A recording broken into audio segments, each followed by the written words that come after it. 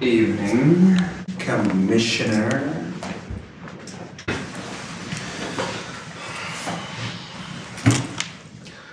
Harvey Dent never made it home.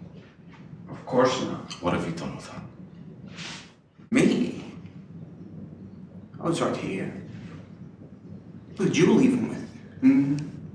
Your people? Assume, of course, they are still your people and not Maroni's. Does it depress you, Commissioner, to know just how alone you really are? Does it make you feel responsible for Harvey Dent's current predicament? Where is he? What's the time? What difference does that make? Well, depending on the time, he may be in one spot or several.